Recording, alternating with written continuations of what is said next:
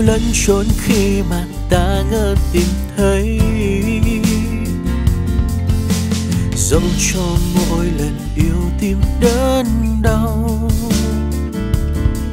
vẫn cứ ngây ngô yêu như lần đầu.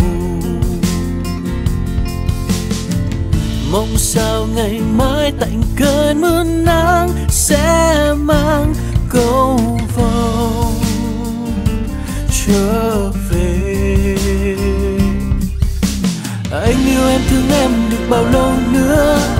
Hay tất cả sẽ đến lúc phai nhạt nếu em vẫn yêu dư thì tình yêu sẽ về đâu? Liệu rằng một sớm mai thức dậy, người vẫn đây? Hay trái tim sẽ thêm một lần vỡ tan? Anh yêu em, thương em được bao lâu nữa? Bao nhiêu thứ đã hứa bỗng dư thừa. Nếu em vẫn yêu dư thì tình yêu có bền lâu. Một mình em cũng giấc mộng về đôi mình.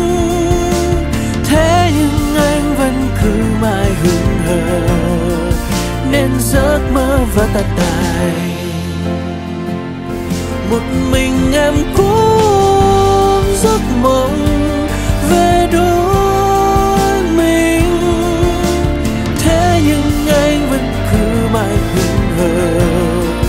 nên giấc mơ vẫn tan tành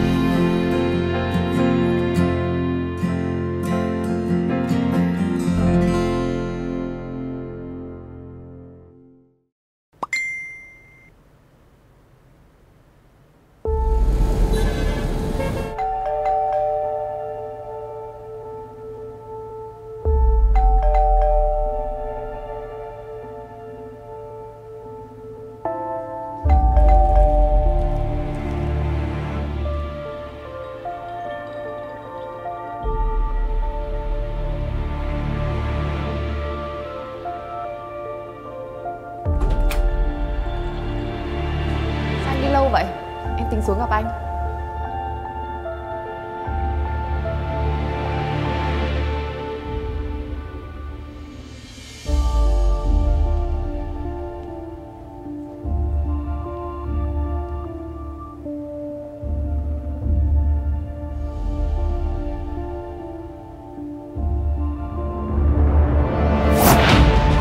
Anh làm cái gì vậy hả? Vậy còn em? Em làm gì ở đây? Không phải chuyện của anh. Đi với anh. Buông ra Khốn nạn. Anh có sao không? Anh bị điên à? Sao anh đánh người ta? Bây giờ em bênh nó. Trước giờ anh tưởng em sống tử tế lắm cơ mà. Anh nói cho em nghe này. Nếu như đã không thể sống được tử tế Thì cũng bớt nói đạo lý lại. Rốt cục là em muốn chia tay với anh là để qua lại thằng này đúng không nói đi. Nói. Đúng rồi. Tôi là vậy đó.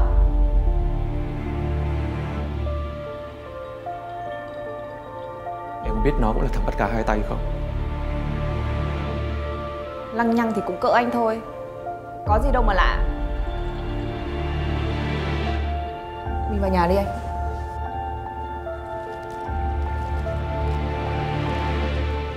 Em mà dám quen anh sẽ giết chết thằng đó. Anh nói được thì làm được, Chứ không người ta khinh thường lắm.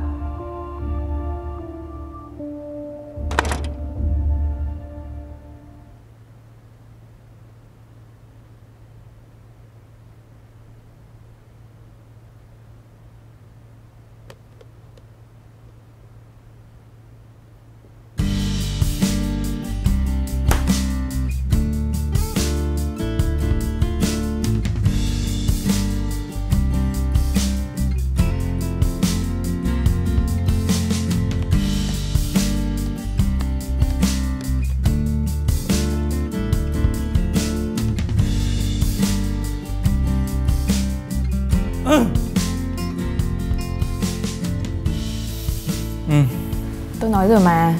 Để tôi làm sẽ đau hơn. Anh không nghe khuyến cáo của tôi còn trách ai? Cô đang thực sự ổn?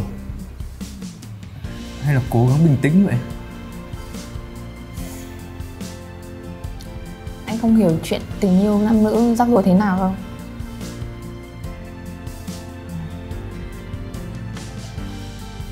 Còn tình yêu của anh Như thế nào? Đau Cũng đau luôn hả? Không. Ngực ấn đau á. Đau á.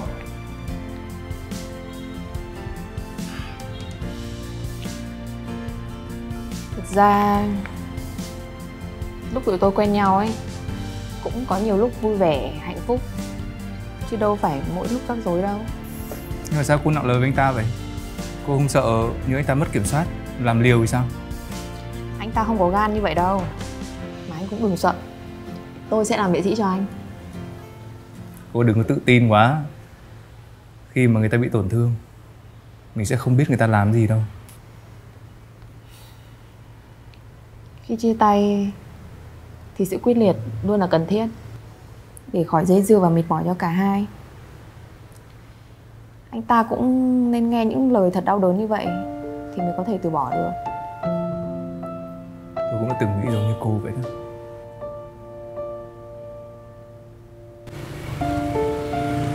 Này anh Hôm nay là chú phải say với anh nhá.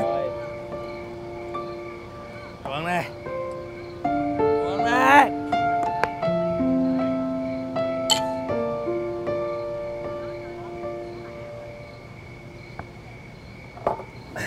Này Lát nữa anh em mình đi tăng 2 không? Hả? Tăng 2 Anh biết một chỗ này phê luôn. Phê dữ lắm. Phê. Anh có biết á Vì cái chuyện đó mà chị em mới quỷ hôn với anh không? Bây giờ còn tăng 2, tăng 3 nữa. Thật sự là em không hiểu anh luôn. Cuối cùng là anh có níu kéo cuộc hôn nhân này không vậy? Anh làm ơn tỉnh táo lên được không? Chú tưởng chị chú là con tử tế lắm à? Anh chỉ đi chơi bời chút xíu thôi à Còn chị chú là con bắt cá hai tay một cách trắng trợn. Bây giờ nó đang sống với trai ở nhà ấy kìa. Sống với trai ở nhà hả? Chắc là anh nói ờ, chị của ai đó. Chứ chị của em là không có đâu.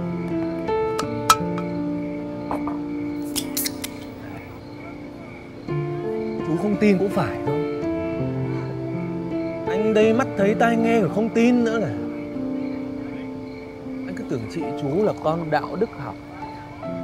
Nào ngờ là con đạo đức giả. Sau này á Nói chuyện nhảm thì đừng có gọi em ra nữa.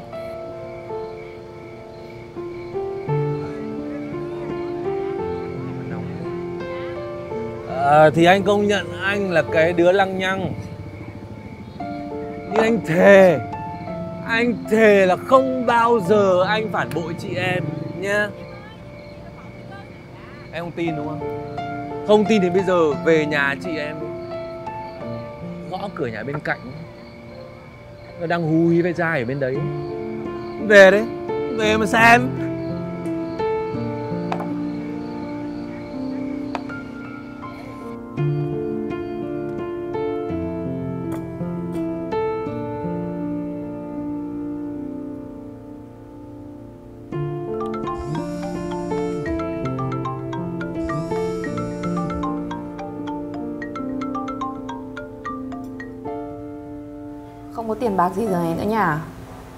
này coi bộ chị phải tốn nhiều tiền để hối lộ em à. Chị mày quang minh chính đại Sáng như mặt trời. Việc gì phải hối lộ ai? Vậy chị nói coi giờ chị đang ở nhà ai? Ở nhà chị chứ ở đâu nữa à?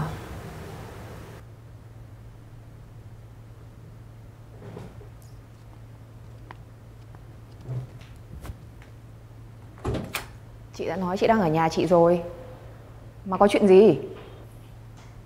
Nhà chị là ở đây hả?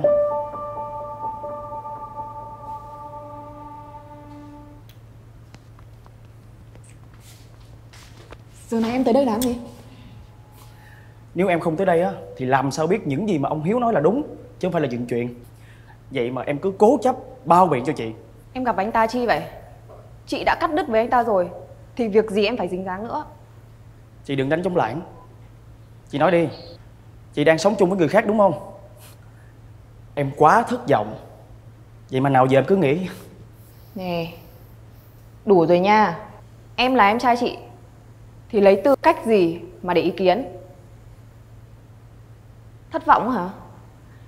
Vậy nghĩ coi Em làm lính chị có bầu ấy Thì chị nên thất vọng hay tuyệt vọng đây? Nói gì thì nói. Chị là phụ nữ Sống phóng khoáng như vậy là không được.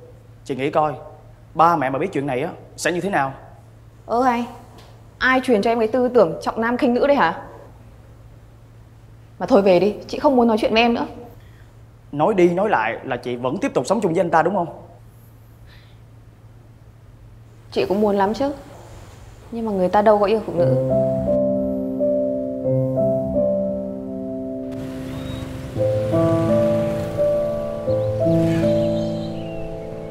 Sở dĩ em cần mọi người họp gấp là bởi vì khách hàng bột giặt muốn tài trợ cho một game show ngoài trời. Chị đã xem qua proposal cũng như là format mà em gửi qua mail chị rồi Em đã chuyển qua cho khách hàng để họ duyệt chưa? À, dạ chưa chị, em đợi ý kiến của mọi người mới gửi. Nhưng mà trước tiên thì em xin nói qua về chi phí của chiến dịch marketing lần này. Theo quy trình của công ty Khi mình chọn nhà thầu thứ ba Không phải là mời ít nhất ba đối tác hiện tại sao Sao mình phải chọn Lion Lion trước giờ là đối tác cũ. Cô cũng đã hợp tác với họ rất nhiều lần mà. Chiến dịch lần trước họ làm tốt thì chiến dịch lần này mình tiếp tục hợp tác với họ. Đơn giản vậy thôi. Làm game show rủi ro rất cao Lần trước họ tốt Không có nghĩa là lần này họ cũng tốt Tôi không nói là mình không được chọn họ Nhưng làm gì cũng phải theo quy trình Nhỡ đâu mình bỏ qua format và nhà sản xuất tốt hơn thì sao Làm theo quy trình. Lỡ như không tìm được format nào tốt hơn của Lion. Vừa mất thời gian. Vừa làm trễ deadline của khách hàng. Vậy hậu quả này ai sẽ chịu? Cô chịu hả? Nếu cô chịu thì cứ làm theo quy trình. Ờ, thôi bây giờ á Trước mắt á Khanh hãy gửi format qua cho khách hàng xem cái đã Đồng thời thì chúng ta cũng sẽ tìm thêm hai đối tác Để gửi format cho chúng ta Đông nghĩ sao? Thật ra Đông có đọc qua rồi Đông thấy ổn Với lại nhà sản xuất này cũng có profile tốt nữa Cộng thêm khách hàng nó cần gấp. Vì họ muốn tung ra chiến dịch ngay vào mùa cao điểm nhất. Đông quyết định Chọn lựa format này. Ờ, Nếu vậy thì em sẽ gọi khách hàng liền. ừ.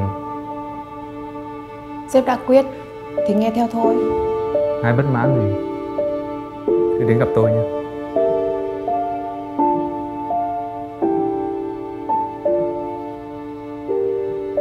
Nhưng mà nghe chuyện nãy giờ á Thì cũng đâu có chắc là anh ta theo phe bà An Hay là bên bà đâu. Không lý nào vậy ta? Nhưng mà cũng có khả năng là anh ta thích bà An à nha. Dạo này á Hai người hay làm việc khuya cùng nhau lắm. Bà đó Đừng có nằm giữa rừng mơ mà tưởng bở nữa. Tôi chỉ sợ bà khổ thôi. Ừm. À, nè. Bà làm một phòng nhân sự. Không lẽ nào không biết chút thông tin gì của sếp? Vợ con gì có không? Thông tin của anh ta á Chỉ có sếp An nắm thôi. Nhưng mà nghe nói anh ta là dân trái ngành Mà lại được ngồi lên vị trí phó giám đốc. Chắc chắn là có ẩn tình gì ở đây. Không lẽ nào là con ông cháu cha? Ê Có khi nào anh ta là con rơi của boss không?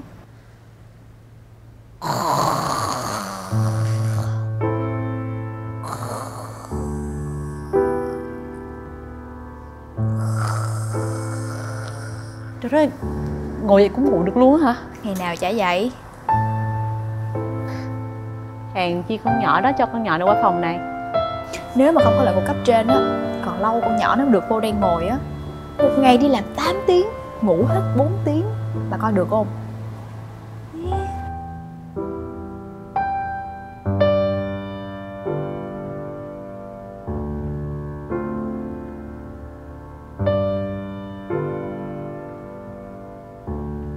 Đông quyết định Chọn lựa format này. Hai bất mãn gì Cứ đến gặp tôi nha. Chị Minh. Của chị nè. Cảm ơn em Nghe đồn chị bị thất sủng phải không? Camera chạm bằng cơm nào mà báo lẹ vậy? Hòa với ai? Bà Khanh á, xuống tắm với bà Diệp cả buổi trời luôn. Chị để nói xấu ba người thôi đó. Họ nói á, thân thế của sếp Đông á, rất là bí ẩn. Không có hồ sơ sinh việc. Không biết có vợ con hay chưa nữa. Không biết vì sao mà hả sếp Đông có thể lấy được chức phó giám đốc từ tay sếp An luôn á. Mặc kệ anh ta. Chị không quan tâm Thật ra Không phải chị thất vọng Vì không được sếp tin tưởng Mà thất vọng vì người Chị tin tưởng rồi đã thay đổi rất nhiều ừ, ừ. Bữa giờ Kim Tha nó cũng nói thất vọng về chị lắm á Giờ em mới hiểu á Chắc cảm giác nó y chang vậy ha Còn em thất vọng về chị Không muốn không? Không biết Kim Thoa làm việc ở phòng đó Có bị ăn hiếp không nữa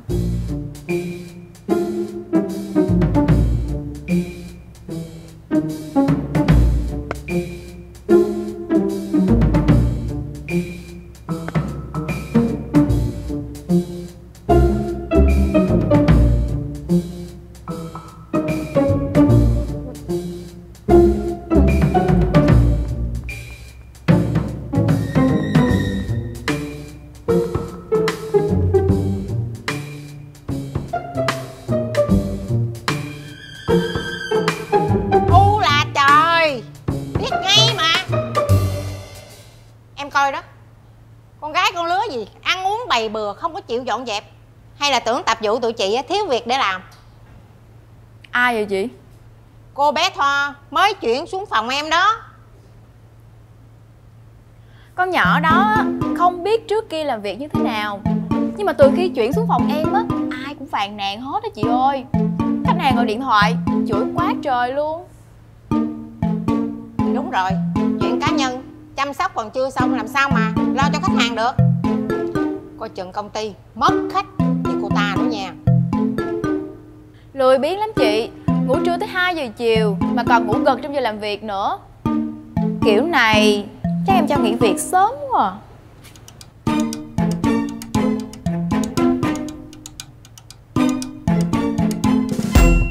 Em ăn uống kiểu gì?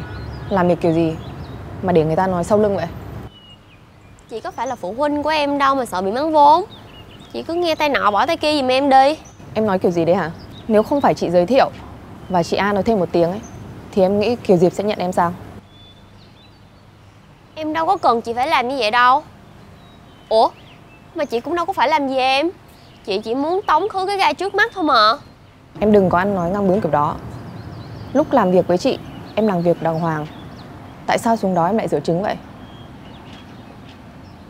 Chị đã nói Em làm tạm thời ở đó một thời gian.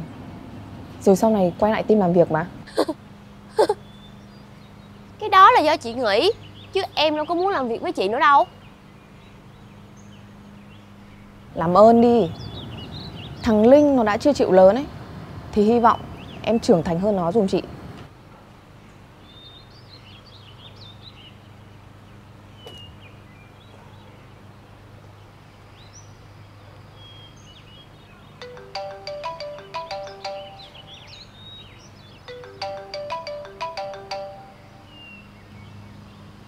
Chị anh muốn làm tôi bác đi đúng không?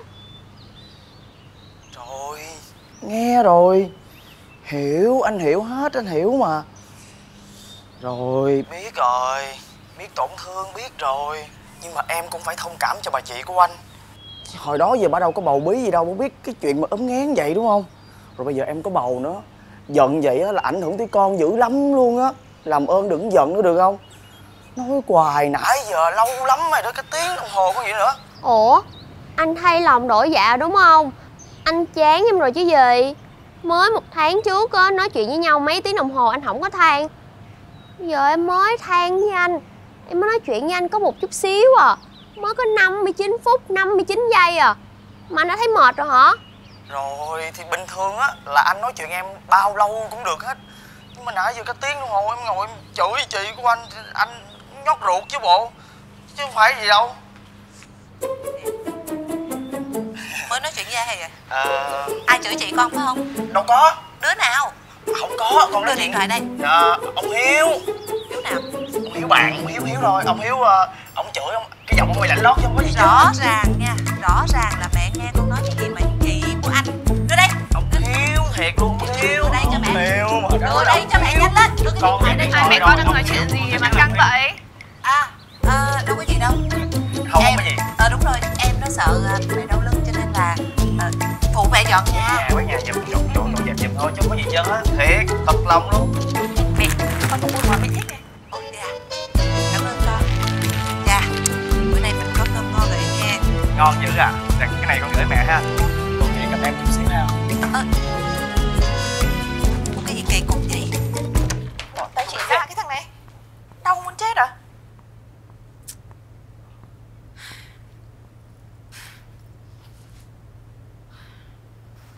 đau nữa hả? Em có tưởng á Chị là người phụ nữ sắt đá không chứ? Nhỏ Thoa này mới gọi điện mẹ em chứ gì? Chị lúc nào cũng nói á Em là đồ trẻ con Không chịu trưởng thành. Chị là người trưởng thành. Ủa chị Người trưởng thành mà không biết á Phụ nữ mang thai là phải ốm nghén hả? Mà phụ nữ mang thai á Rất là dễ buồn ngủ Nên cái chuyện ngủ gật là hết sức bình thường. Vậy mà chị nói người ta lười biếng. Ừ. Ờ Thì nói mới biết. Không nói sao biết. Ai bảo nó không chịu giải thích? Ủa người ta có cơ hội giải thích với chị hả? Chưa gì hết á Là chị đã trách người ta rồi. Bênh nói cho cố đi nha. Mai mốt về sống chung với nó ấy Bị nó hành cho. Rồi đừng chạy về nhà mách mẹ mách chị nghe chưa? Không có đâu. Em yêu Thoa. Và em chắc chắn với chị một điều rằng Cô ấy là một người phụ nữ tốt. Giờ chị nói là không thèm nghe nữa đúng không Mới quen con nhỏ có 3-4 tháng Mà đã đuổi nó lên đầu rồi. Đúng cái đồ dạy gái. Chị ơi Em đã sống cùng với chị á. Một phần tư cuộc đời của mình rồi Ba phần tư cuộc đời còn lại á. Là em sống với người ta kìa. Và một điều đặc biệt quan trọng nữa Là cô ấy đang mang thai con của em đó chị.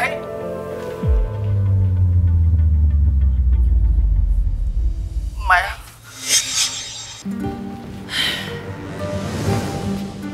Mẹ Chuyện này mẹ cứ để con lo. Con hay quá ha. Chuyện của con á Con đã lo được chưa? Mà mày đặt lo cho nó. Thiệt tình á. Không hiểu sao tôi đẻ ra hai đứa mà lúc nào cũng làm cho tôi đau tim như vậy à.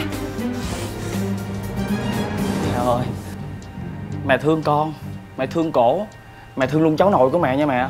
Đi mà mẹ. Con hay quá ha. Con bé đó là ai hả? Mà được bao nhiêu tháng rồi?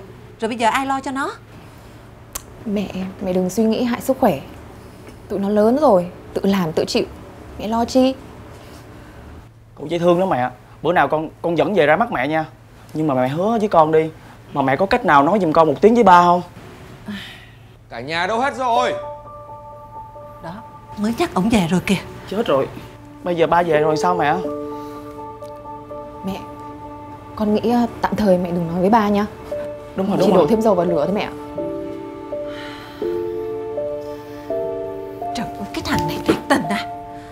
làm mẹ rối luôn này thấy không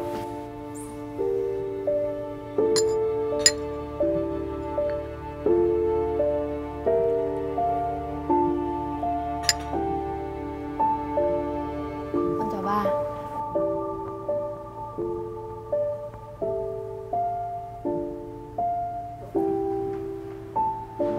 Ba, Con có mua món à, vịt quay mà ba thích nhỉ? Ừm. Ba, Nhìn hấp dẫn không ạ? Bà ơi Dọn cơm đi.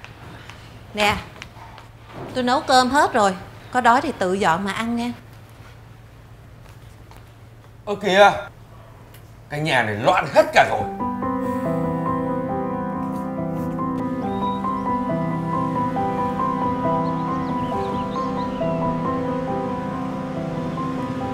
Ba ba ba ba. Con muốn mua con khủng long. Ok.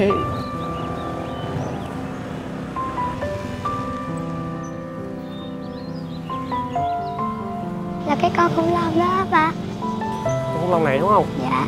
Sao bữa trước con nói con thích con gà hả? Không con thích con khủng long. Giờ con khủng long không để ý nữa nha. Dạ. Chú ơi Lấy con khủng long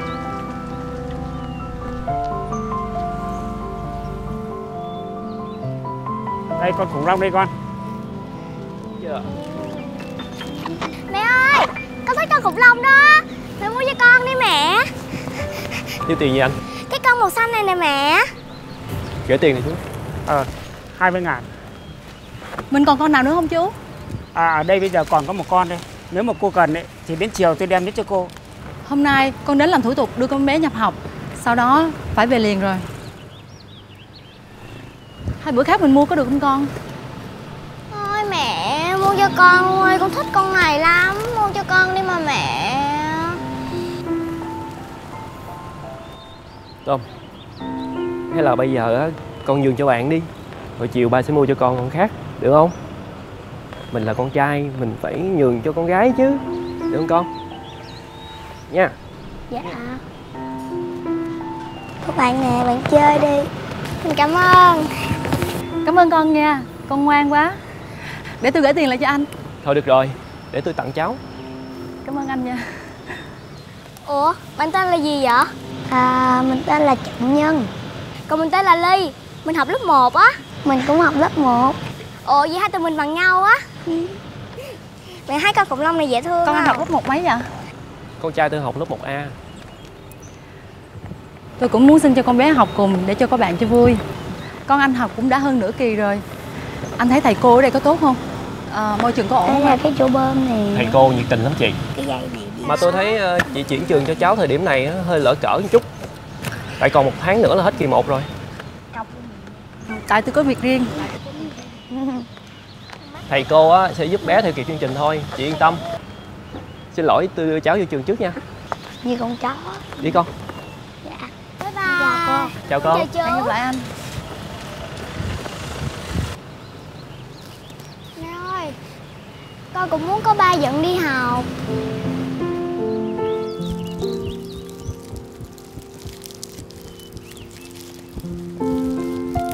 Con trai của bà tuổi bính dần phải không? Bính dần là mạng quả. Mà hai người cùng tuổi với nhau như vậy á, là khắc Không có hợp đâu nha. Nhưng mà may mắn á, là năm sau con của bà sẽ được giải hạn. À, Sẽ tới thời của cậu đó rồi đó. Cũng may là tính tình của cậu ấy hiền lành Nên mới có quế nhân phò trợ. Tuy nói á, là khả năng thành công nhưng mà cũng không có chắc là thành công 10 phần đâu nha. Chỉ có 9 phần thôi. Gì kỳ vậy? Thầy mới nói là thành công có muốn trốn tránh cũng không được. Giờ đâu tự nhiên còn có 9 phần vậy? Trời đất ơi sao bà tài lanh quá vậy? Trên đời này nè đâu có gì chắc chắn đâu con trai của bà đáng lẽ thành công lâu lắm rồi. Nhưng chứng khí nặng quá nên phải tìm người giải hung quá cát. Thì chính á nó mới thành được 10 dạ nhưng mà giờ biết tìm người đó đâu đây thầy? Đi đâu nữa đã gặp rồi. Đúng ngay ngày hôm nay là một người phụ nữ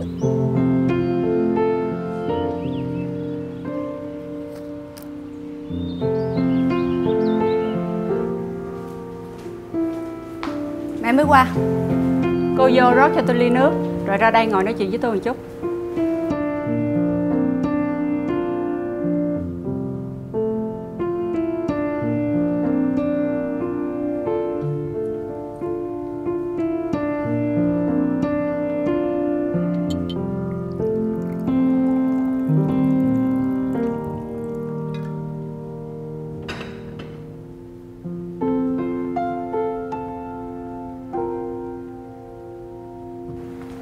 Dạ con mời mẹ. Tôi đi coi 10 thầy. Đều nói giống nhau hết 10 thầy. Không sai một chút nào hết. Trước khi cưới cô, thằng hưng nó làm việc xuất sắc. Việc nhẹ lương cao, tiền đồ rộng mở. Nhưng từ khi cưới cô về, sự nghiệp của nó đi xuống luôn. Giờ á, nó chỉ là một thằng đàn ông nội trợ. Đó là lý do tại sao tôi kịch liệt phản đối hai đứa vì tuổi hai đứa không có hợp. Mẹ chờ con một chút nha.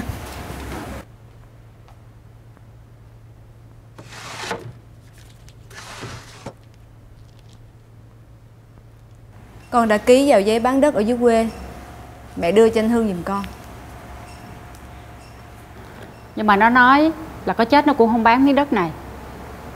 Cô ký cũng như không à. Mà tôi thấy giờ cũng không cần phải bán làm gì.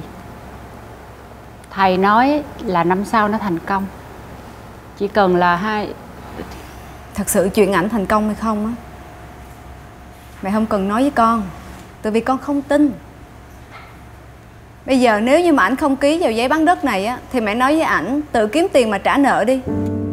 Con không thể nào gồng gánh thêm số nợ nào nữa của ảnh hết. Con xin lỗi mẹ con đi đây.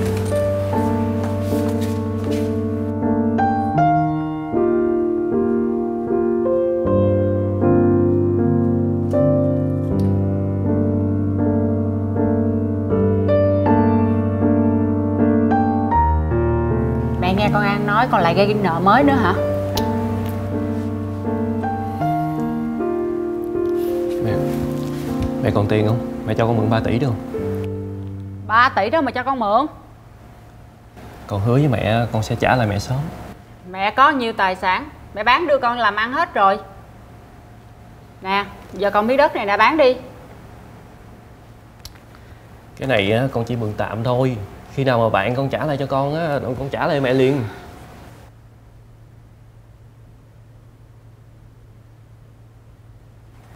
Nghe mẹ hỏi nè. Có phải hôm nay con gặp một người phụ nữ lạ đúng không? Ồ Sao mẹ biết? Đúng rồi. Không sai đi đâu được hết. Thấy chưa? Thầy nói đâu có sai đâu. Thầy nói á Người phụ nữ đầu tiên hôm nay con gặp Là quý nhân của cuộc đời con đó. Là con sắp thành đại gia rồi. Mẹ ơi mẹ đừng có tin lời thầy bà nữa đâu mẹ. Sao không tin được con? Phải tin chứ. Mười thầy đều nói giống nhau hết Là năm sau con sẽ trở thành đại gia.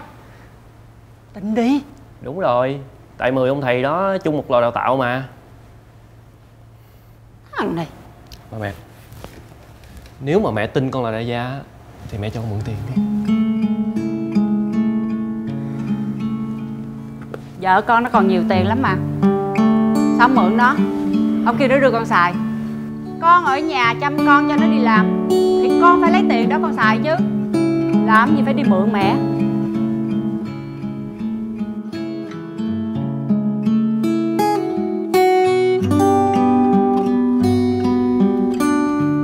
An không đói hả? Ở nhà có chưa cơm không? ừ. Dạo này có hơi nhiều việc cho nên là thường á An ăn xong rồi mới về nhà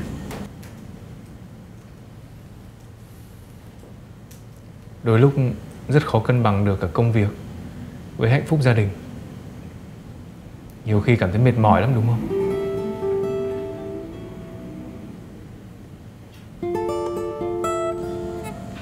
Cũng thật sự là không muốn về nhà ờ, Trước giờ An cứ nghĩ là mình mạnh mẽ lắm Nhưng mà gần đây xảy ra nhiều chuyện quá, Khiến cho An ờ, chỉ muốn tránh né thôi có phải là Đông thấy An hèn nhát lắm không? An không cần phải cố tỏ ra mạnh mẽ đâu. Đông nghĩ nhiều khi cứ cho người ta thấy mình yếu đuối, bất lực như thế nào. Đôi khi tâm trạng còn tốt hơn nữa. An đừng tạo áp lực cho mình làm gì.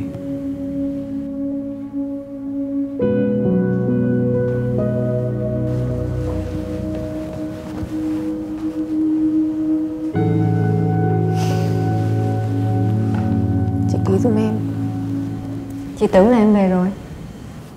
Dạ. Em đang chuẩn bị này chị. Mà xe em bị hỏng. Em cũng đang tính nhờ sếp đông trở về.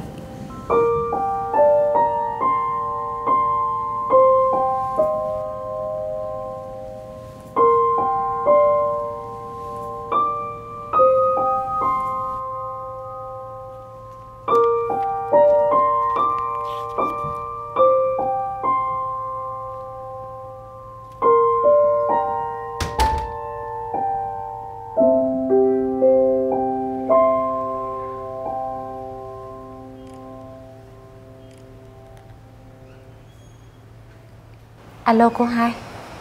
Giờ này mà chị An còn ở lại công ty nữa. Con cũng không biết là làm việc thiệt Hay là kiếm cớ tâm sự với sếp Nam mới tới nữa. Dạ. Bọn con nghi lắm. Dạ. Vậy nha cô hai.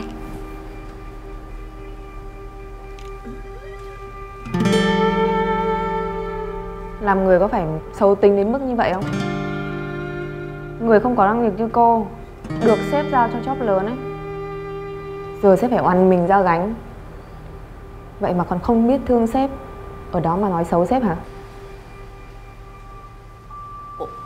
Ủa tôi nói xấu rồi nào. Tôi đang nói sự thật mà. Có mắc cười quá. Tính ra là tôi đang lo cho anh tôi Cháu tôi. Ở nhà không ai chăm sóc. Mắc cười đang lo cho người nhà cô? Hay là đang lo cho sếp đông?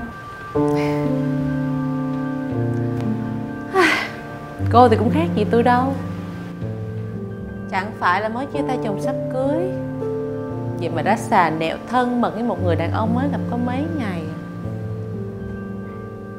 Bây giờ đã hết giờ làm việc rồi. Cô ở lại, Chẳng phải cũng là đang canh sao?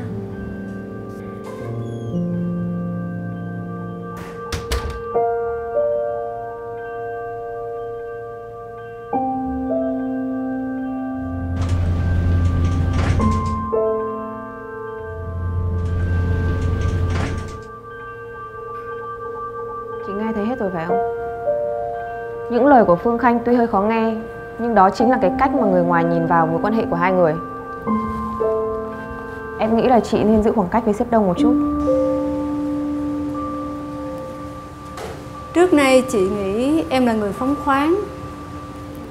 Làm gì cũng không sợ người khác đánh giá mà. Em không sợ cho em Em chỉ lo cho chị thôi. Chị đừng vì buồn anh Hưng Mà lạc lòng Sếp đông không thể thích chị đâu?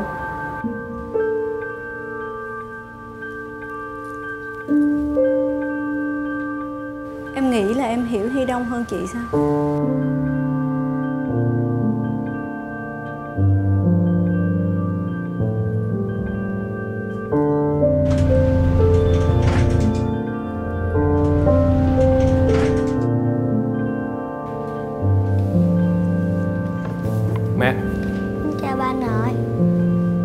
Đây có chuyện gì không mẹ Con đang làm gì vậy? Tháo tập về ra. Chuyện nhà cửa là để vợ con nó làm. Sao mẹ lớn tiếng vậy? Con con nghe không có hay đâu. Con cứ để vợ con nó về khuya kiểu này. Mất vợ không hay nghe chưa? Tôm Con vô phòng một bài đi. Bà có chuyện muốn nói với nội chút xíu Dạ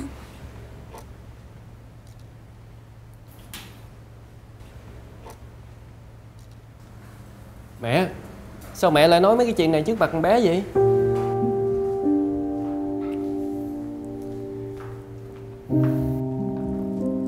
Con cũng phải để cho nó biết chuyện tốt chuyện xấu như thế nào. Giấu nó làm cái gì?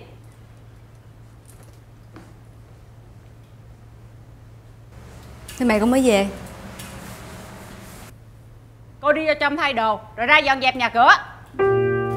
Mẹ Mấy cái chuyện này là chuyện của con. Con làm được mà con cứ bắt thang cho nó trèo lên đầu. Biểu sao nó không ngồi cho nó suốt. Vợ chồng con á, Từ nay về sau, Cứ gồng gánh trả nợ đi, Đừng có bao giờ mượn tiền mẹ nữa.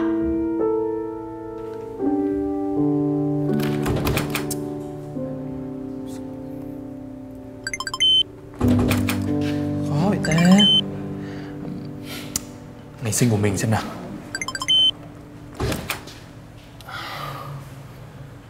Không phải là ngày gì. Ngày sinh của Khánh Minh đi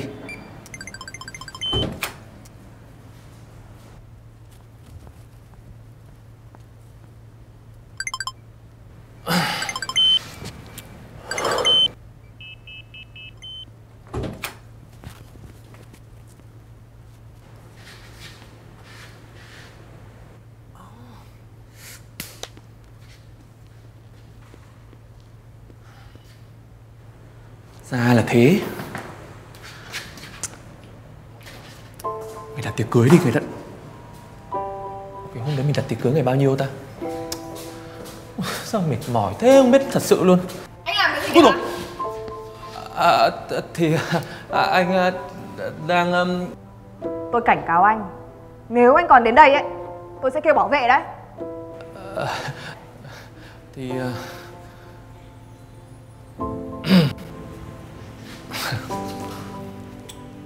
mà gu của em bây giờ lạ nhỉ quan hệ với cả đàn ông có vợ có con nữa. Ba mẹ em ở nhà mà biết chuyện này chắc đẹp mặt lắm ha. Anh im đi. Anh nói điên hay khùng gì đấy. Hả?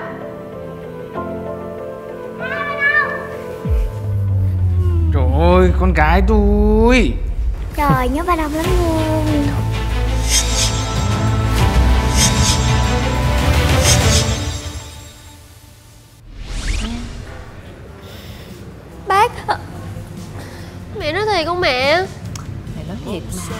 Đó, anh nói rồi Mẹ anh không có giống chị gái anh đâu Thấy chưa Hả? Thì ra đây là cái cô gái mà nói xấu chị của con đó hả? ờ, Ngay từ đầu là anh biết mẹ của anh là tán thành chuyện của mình rồi Chỉ có ba, anh sợ ba thôi, anh không dám nói Hay quá, à, chữa cháy hay quá à. Ờ, Bây giờ nhà mình đó là đã có ba phiếu thuận rồi Chỉ còn một phiếu trắng thôi để mẹ tính coi Đây, mẹ có cách rồi anh yêu em thương em được bao lâu nữa? Bao nhiêu thứ đã hứa bỗng dư thừa? Nếu em vẫn yêu dư thì tình yêu có bền lâu. Một mình em cũng giấc mộng về đôi